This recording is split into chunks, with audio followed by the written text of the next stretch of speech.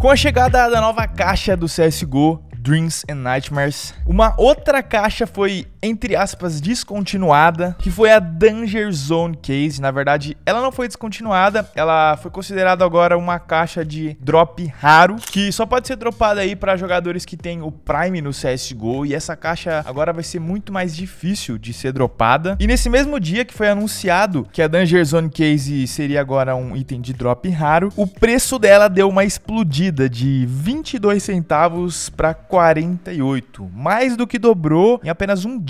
Dando um zoom aqui para a gente dar uma analisada do que aconteceu nos dias seguintes, essa caixa já caiu bastante de preço, está sendo comercializada agora por 29 centavos, o que ainda é bem mais do que ela estava sendo comercializada aqui no dia 20, né, antes de ser movida aí para um drop raro. Agora está sendo vendida aproximadamente por 20% a mais. E analisando esse gráfico aqui a respeito dessa caixa, algo me diz que muita gente se desesperou e comprou milhares dessas caixas aqui perto do dia 20 de janeiro, pensando que ela seria uma nova caixa raríssima aí do CSGO. Essas compras fizeram com que o volume de caixas listadas caísse bastante, mas agora já voltou praticamente ao normal. Tem mais de um milhão de caixas dessa daí listadas no mercado da Steam. Eu não sou o cara que investe em caixas de CSGO, eu prefiro investir em skins, mas muita gente está dizendo que esse daqui seria um bom investimento a longo prazo.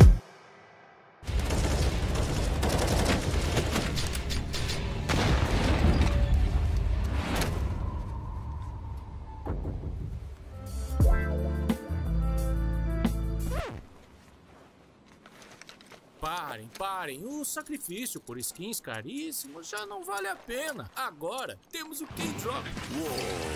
Boa! K-Drop. Skin caro é mais simples do que pensas.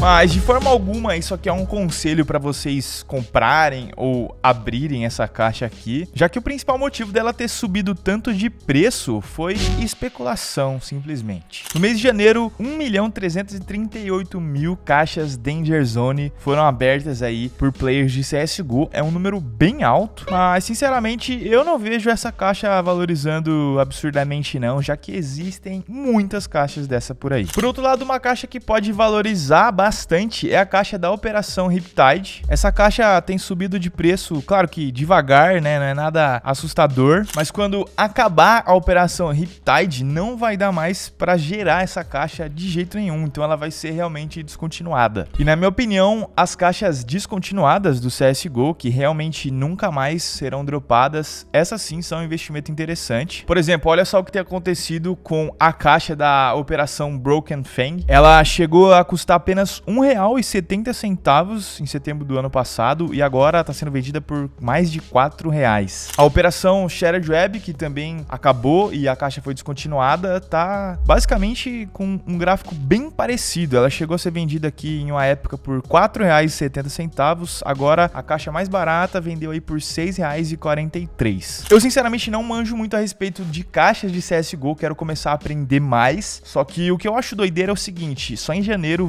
20 milhões de caixas foram abertas por players de CSGO, com cada caixa sendo gerada aqui pela Valve por 14 reais, o que traz a gente aí para uma conta de aproximadamente 300 milhões de reais fabricados pela Valve só no mês de janeiro pelos players que compraram chaves para abrir as caixas. Simplesmente a gente pegando esse número de 300 milhões de reais e fazendo vezes 12, que são os meses do ano, a gente está falando de um mercado multibilionário onde a Valve estaria vendendo mais de 3 bilhões de reais por ano apenas em chaves de caixas. E detalhe, nem estamos contando aí as caixas que são compradas por meio de estrelas, que são também vendidas aqui pela Valve num preço aí de 100 estrelas por 250 reais ou uma estrela por 4,45. No fim das contas, quem sai lucrando muito mais do que os players é a própria Valve. Eu espero que pelo menos eles consigam melhorar o anti-cheat aí em 2022, né, Valve? Por favor.